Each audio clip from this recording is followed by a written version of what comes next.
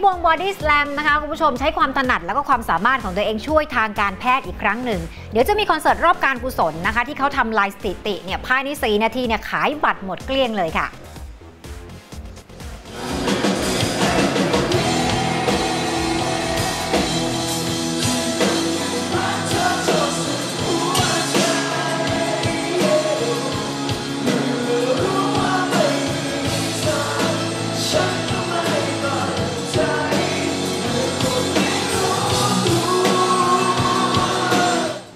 หนุ่มวงบอดี้สแลมนะนำโดยตูนปิ๊ด ชัช ยอดและโอมกับอุ่นเครื่องโชว์เพลงถึง 3 เพลง ในงานแถลงข่าวคอนเสิร์ตพิเศษการกุศลที่ใช้ชื่อว่า Body Slam นับ 1-7 ให้แฟน ๆ ได้วอร์มพลังก่อนงานวันจริงต้นปีหน้านะคะเนี่ยว่าจะเป็นเพลงงมงาย ความรักทำให้คนตาบอด แล้วก็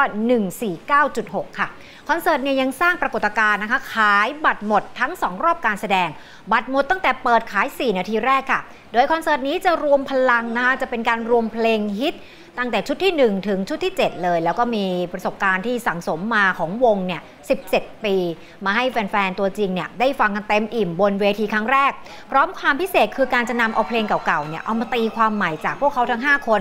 จัดขึ้นโดยมูลนิธิธรรมาภิบาลทางการแพทย์ร่วมกันกับภาคเอกชนค่ะ เพื่อที่จะหารายได้ไปช่วยโรงพยาบาลที่ขาดแคลนทั่วประเทศนะคะ และรายได้จากการจำหน่ายบัตรทั้งหมดเลย ไม่หักค่าใช้จ่ายใด ๆ มอบให้กับมูลนิธิธรรมาภิบาลเพื่อการแพทย์ต่อไป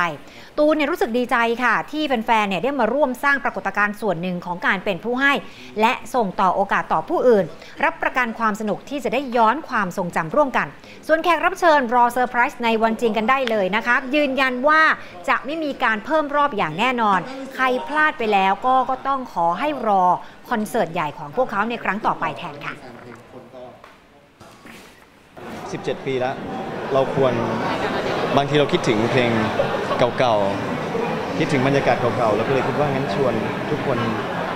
นับตั้งแต่อัลบั้มแรกมาฟังตั้งแต่อัลบั้มที่หนึ่งถึงอัลบั้มที่เจ็ดร่วมกันย้อนไปถึงวันที่เราเริ่มต้นมาด้วยกันพยพยายามเล่นเพลงที่ทุกคนอยากได้ยินตั้งแต่อัลบั้มแรกถึงอัลบั้มล่าสุดให้ได้ให้ได้ให้ได้ครบความต้องการไม่ถึง5นาทีก็หมดครับเราก็ปลื้มใจนะแล้วก็ดีใจที่ที่หลายๆคนยัง ถึงและอยากมาดูคอนเสิร์ตบอดี้แซมอยู่ แล้วก็ครั้งนี้มันพิเศษตรงที่บัตรของทุกคน ทุกบาททุกสตางค์ที่ทุกคนซื้อบัตรเนี่ยจะส่งต่อให้กับโรงพยาบาลที่ขาดแคลนทั่วประเทศมันยิ่งทำให้เราเพิ่มใจเข้าไปอย่างที่เราก็เป็นสภานให้ทุกคนได้ได้มาสนุกด้วยสภานให้ทุกคนได้ทำเรื่องดีๆด้วยกัน สำหรับ Body Slam นับ 1-7 จะมีการแสดงในวันที่ 25 และ 26 มกราคมนะคะ ปีหน้าคือ 2563 เลยนะคะ คอนเสิร์ตจะจัดที่ Impact เมืองทองธานี ใครมีบัตรแล้วนะคะ แสดงความยินดีด้วยค่ะ